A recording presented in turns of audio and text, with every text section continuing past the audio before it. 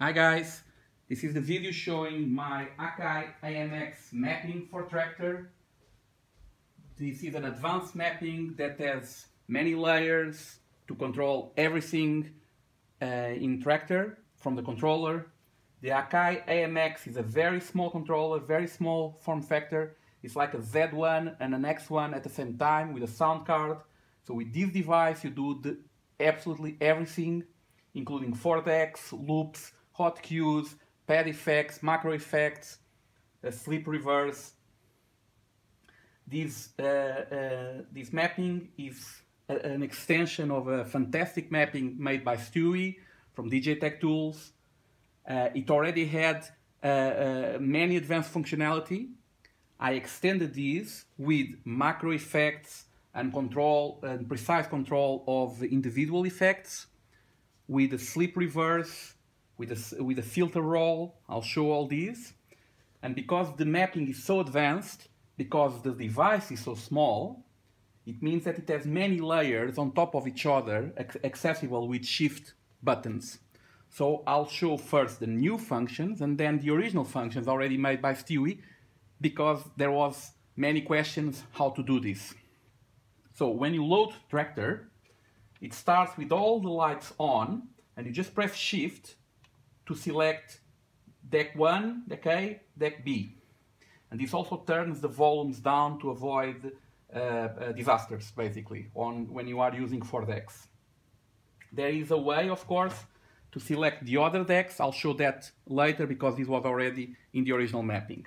Let's start with the new functions. We select a track with shift load which is safer than just load. You can press load at any time. It's shift load. Play. And we'll start with a loop. I'll show all the functions later in, in, in, one by one basically, but first I want to give an idea of the new of the new features. And the first features is macro effects. Just like you have the filter that stops in the middle and goes both ways. You go to the panel, the panel light blinks, and now these buttons are no longer play, cue, and sync and all these things. They select which effect to use. For example, now it's wormhole but it works like the filter. It stops in the middle.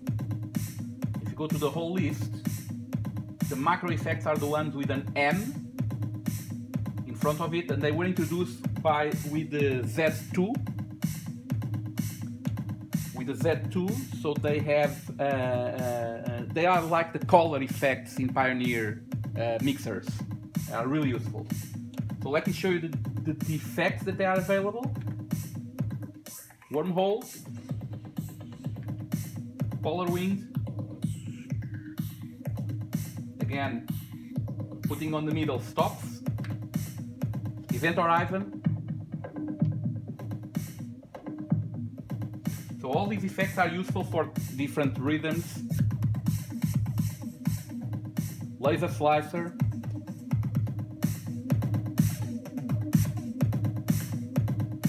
Dark matter.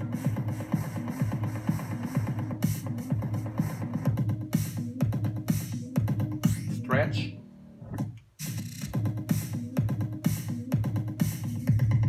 And flight test. Now you select one you exit this mode and now it's not blinking it's the normal so play and pause is the normal stuff. Sync so actually like what's written, but that effect that you selected is always there. If you want to filter back, it's number one, and then it's normal filter. And if you press this button next to the crossfader, it, it, it turns the original filter from Traktor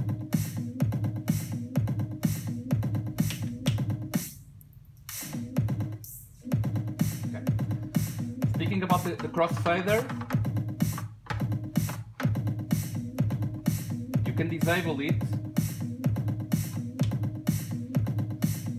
Pressing shift. Pressing search and crossfader you disable it. Now it's turned off. By default it's turned off. If you want it just press shift and crossfader. And now it's there. To whatever A and B you have. I use it disabled so I just press like this and then it's disabled because it's so small uh, the, the, the, the, control is so small, that's why I like it, it's portable, but everything is so com compressed. Next feature, uh, we'll do the, the filter roll. That's something that is unique to this device and in Serato. And here is emulated, you press touch. When you press, when you touch the top, it repeats at one beat, and then it goes like this.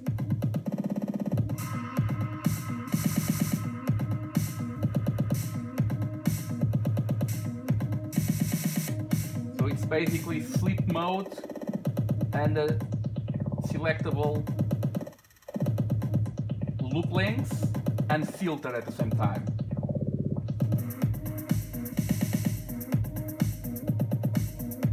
Note that the original mapping has had this as keys, also touch. I disabled that because it's so close that you very easily touch this guy here when you are doing this. press touch and it's no more. Filter is still there, of course. Next feature, slip reverse. It's called censor in Pioneer. You press shift and it goes back with slip mode. As much as you want. This is very useful in the beginning of the track when you have the the beat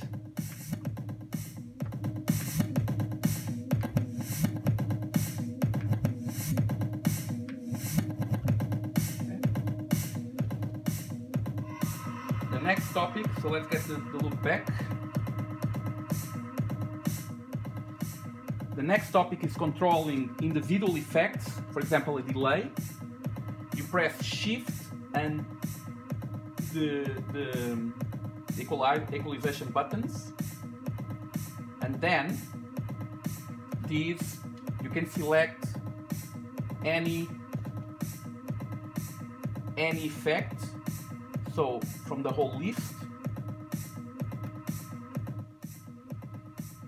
this is the list of effects. I want the delays in the middle. So let's get there. Delay. That's one.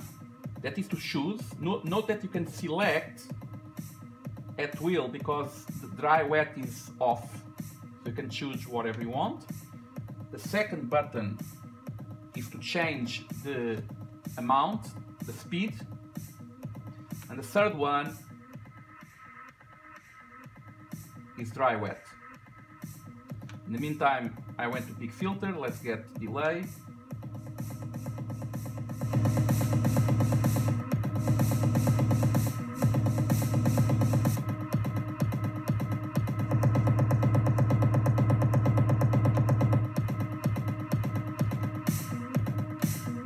In the meantime, I change the loop.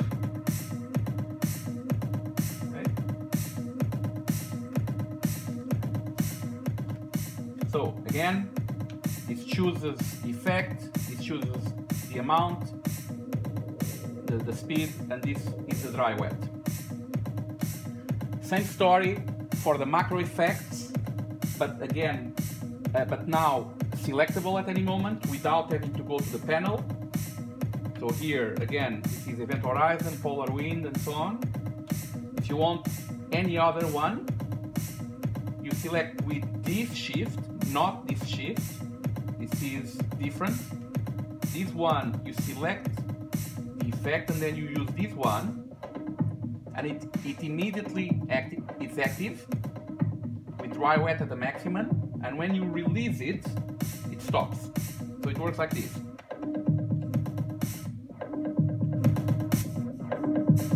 Now you want another one.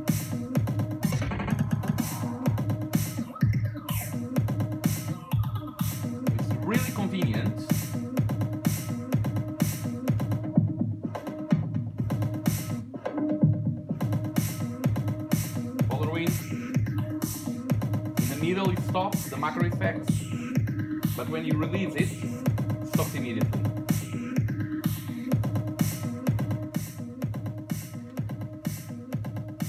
Other than this, also added uh, some uh, uh, uh features uh, that are convenient.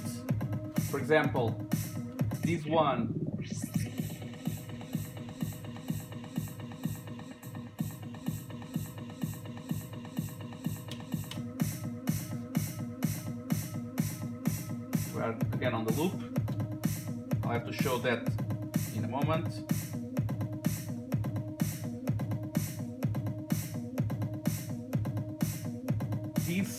I'm now going to show the uh, original features by Stewe, the most important ones. If you press Shift panel, you go to the pad effects. While this is a reverb, on off, filter, delay. This disables all of them. This enables all of them in, in hold mode. And now it could be enabled you could exit and do what you want. It's always there. Shift panel disable and the original mapping had five pages of pad effects which are selectable with shift and the volume. And this is seen here. So this is page number one two three and five four and five and page number five is really good.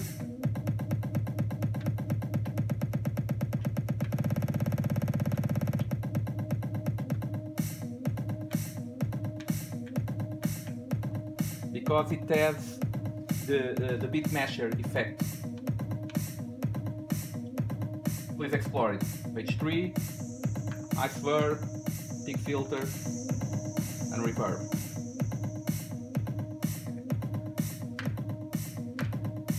Now I'll show the, uh, the other functions for uh, deck control, cues, loops that were already on the original mapping. And later I'll show the browsing. So let's start with the cues. When you press, so I'm on uh, uh, pad effects mode, press panel to go to normal mode, main mode, and this is the mode where the buttons do what they say. So let's go one by one. Play pause, cue, all, nothing special here. Sync on and off. With shift, if you press sync, uh, it goes to, to master. It selects the master. Let's get something on the other deck to show that. It's sync and then you shift sync that guy is the master, then this guy is the master. Next one goes to the beginning of the track, which is this function. And this one is the slip, the reverse that we already showed. That's with this button, the main button. Now, the, the volume, this button here, which is the volume, is very highly overloaded. So the, the normal way is volume. Nothing special here. With the shift next to it, you select the you select the loop size. So here loop is not enabled and I select 16 and then shift that the left shift load makes me 16 bit loop and then I press next to it and I select 2 and so on. Take it out like this. So that's this shift. When you press this shift, the colors change because it's now the cues. This is loop on and off still one, one fourth. And this is the four, the five cues that I currently have. Let's see them. One, two, four, five, and six. So this is number one, number two, number three is not enabled yet, number four, five, and six. Now, how do we delete, how do we create and delete loops? We press the shift, the main shift button, like this. This, and then this, and then you delete the cue. Now you add a cue, you move to a cue. So this is once you once you are used to this mapping, this becomes second nature. But if you are seeing this for the first time, it's very confusing. So let me show you. Again, without any loops, without any shifts, this is play, pause, cue, sync, and so on. With the main shift is the red functions. Go back, reverse, and so on. With this one, it's now the cue, uh, the hot cues, which means go to the hot cue or create a new one. So I'm now going to create a new one. And with these and these, this deletes the hot cues, just like in big controllers. Please note that it's like here and here and then delete, not the reverse. If you do this, the reverse, if you press these and then that, this is now to select the deck. I'll get there later. So deck one, what more features? If we press the other shift on the other side, this becomes pitch bend, which is useful when the beatgrid is not enabled. Let's go back to the beginning. This is pitch bend, and with the main shift, so like this, this, and now this, you are now changing the tempo value.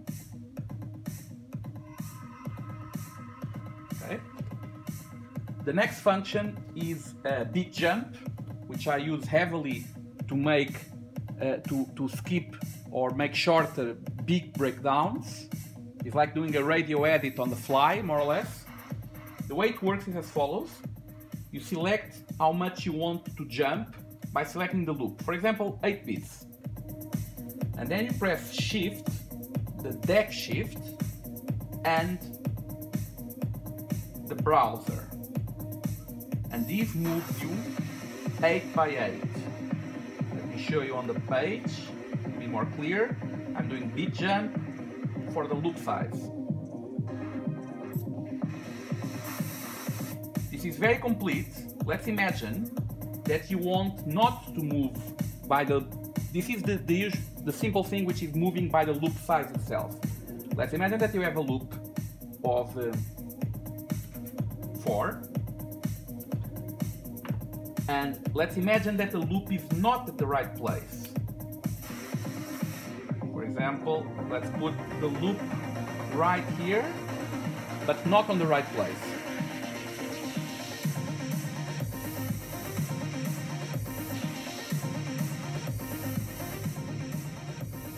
Pressing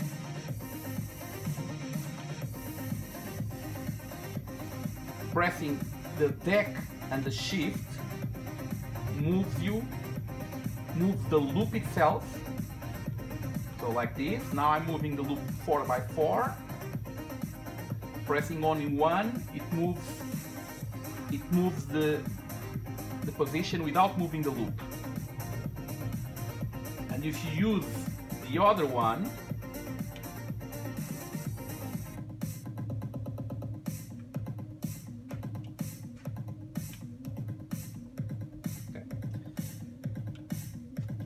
for beat jump, and we have all these all these features are annotated here with all these layers. So let me uh, uh, cover that now. There are several pages on this PDF. This is the main shift, left deck shift, right deck, deck shift. This is the FX toggle and the um, macro effects as we covered before. And in red is everything you can do with this button pressed. So this is the filter, FX1 select, depth and dry wet. This is the slip reverse, back and so on. And uh, this moves the tree. So let me show you that. When you press the browsing, it opens full screen, really, really quick. And then you select what you want and then shift load because it's here, it says here in red, main shift load. Let's get another track. Or this one. Uh, next next shift. So the, everything is documented shift by shift because it's, there so many. The this shift means this deck shift. So it means that if you are doing stuff on the on the left deck it's this guy. But if you are doing stuff on this deck it's that one. Don't confuse it. That's why this is called this and the next one is other I'll get there so on the this shift, this does the beat jump. It also does the loop move, no loop, with this guy here. That's why it's in light blue and sim single shi normal shift is dark blue. You can also set snap and quantize and all these things here, this guy. And here is the loop size and the beat jump size as we discussed. This guy selects selects the the, the deck layout. Let's do like this. Nope, this one. So this is selecting this, this is selecting which layout and with this one it selects the size of the decks and the size of the other deck from micro to advanced. Okay. So let's get just one, two decks again. Okay. Next one the other shift. So this one for here or that this one for there. Is a tempo bend. And the tempo set. And this does quantize. So here is snap, snap and quantize. And full screen and all these things. The pad effects we already discussed macro effects also as well. And the browser, the last thing is if you have a very large collection, you go to the track collection, if you press load, you can go page down by page down, which is really, really useful. Especially if you do this. And then if you go like this. So, the last topic the last topic, let's get this again, let's get 4 decks, is how we control 4 decks with just a, just a small device. So the way it goes is like this. You press, you, you get a loop,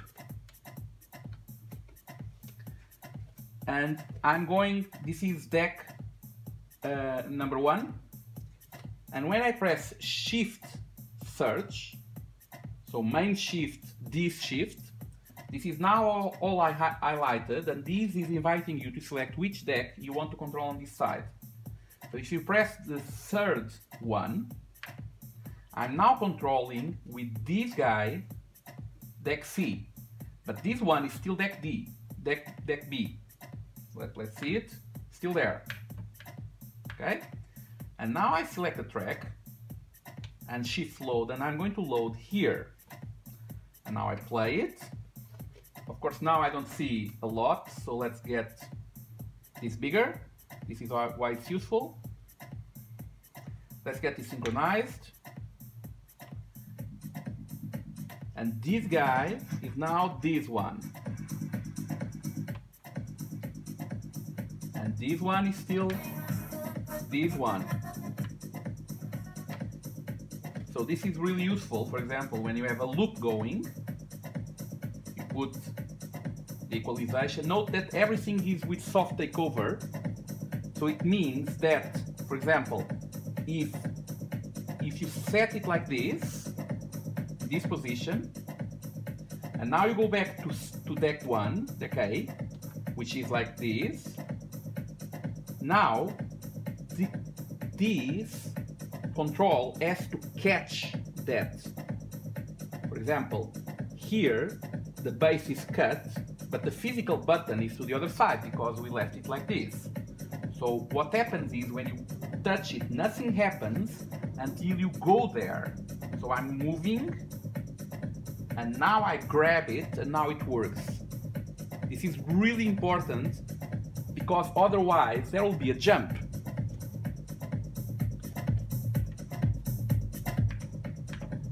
So again, deck, I'm controlling deck 1 and 2. These guys here. Deck 3 is on the background. Let's control it. Main shift is shift. Press 3. And then it, here it goes.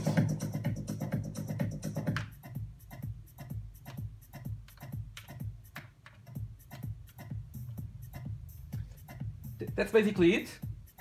Uh, the, the PDF has all the details of all the functions. I hope that you enjoyed. Make any comments, especially if something is not clear.